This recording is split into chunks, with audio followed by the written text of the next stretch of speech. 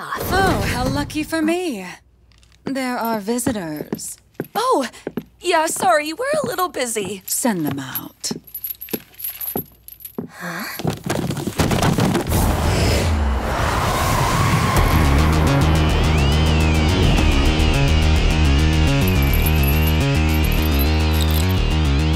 Mikura, Right.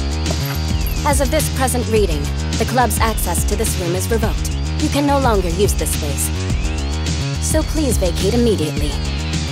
Huh? I can't just do that right away. There's. when did you last pay usage fees for this room?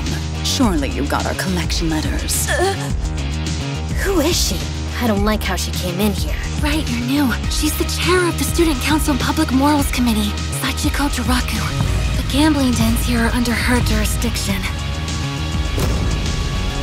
Hmm. What's the matter, Yukimi? What do you think about letting me use this place? Huh? You? Let me take over running this den for you. I'll improve the revenue stream, and I'll even pay a higher usage fee. Interesting. And who are you? First year Hana class, Mary Saotome. Can we slow down for a second? I can pay you back next month, even what's overdue. I think it would be better to go with someone brand new instead of placing the same losing bet on a person that has failed you. Hmm. How fascinating. Let's do this then. Mary, Yukimi, you will gamble.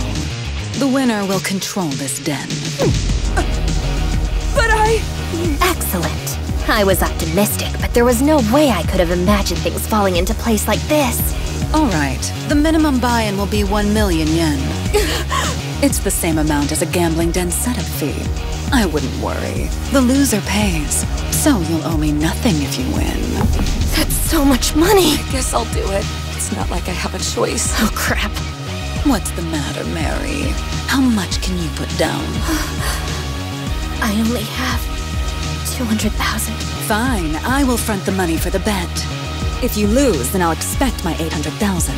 Don't do it, Mary! You don't want to owe the Student Council money! But you do want the den right. You should be willing to accept the risk. Hanate Mari, I have to prove myself somewhere. Fine then. I'll help. I'll front 500,000. I want to. You do? Very well. Mikura, start us off. Yes.